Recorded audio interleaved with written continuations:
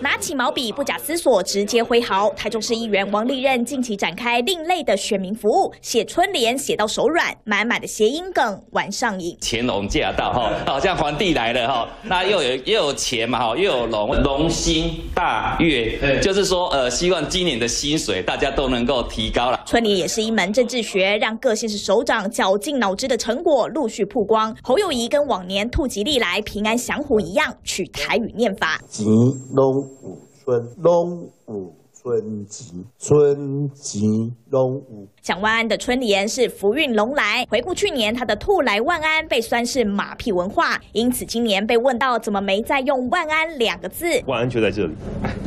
卢秀燕春联今年首度有两种选择，目前只透露福运昌隆，另一个版本要保有神秘感，还没公布。输人不输阵，林佳龙今年也送出欣欣向荣，而陈其迈的春联则是腾龙献瑞，比起读音更看重含义。今年龙字梗常见的谐音，包含跟兴隆、昌隆有关的吉利话，还有将龙联想到台语的全部，钱财福气龙来，荷包隆起啊，它就很有梗，但是就是很贴切，荣华富贵都。